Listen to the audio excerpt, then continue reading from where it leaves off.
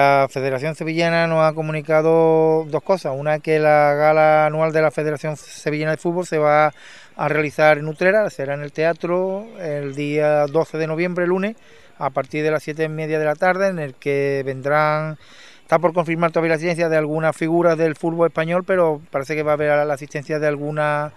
de algunos personajes importantes y la segunda y quizá mejor noticia es que el Club Deportivo Utrera ha sido galardonado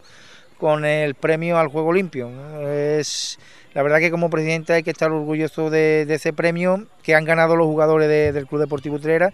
y están, las, clasificaciones donde están y encima jugando limpio, como el premio indica, ¿no? Es un premio que se le da a las categorías, al cómputo de tarjeta y sanción y multa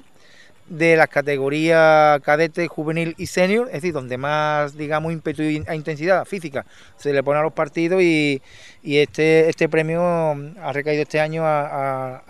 con los jugadores del Club Deportivo Utrera. Ya te digo, como, como presidente es para estar más que satisfecho y orgulloso y darle la enhorabuena a todos los jugadores que son los que realmente han ganado este premio.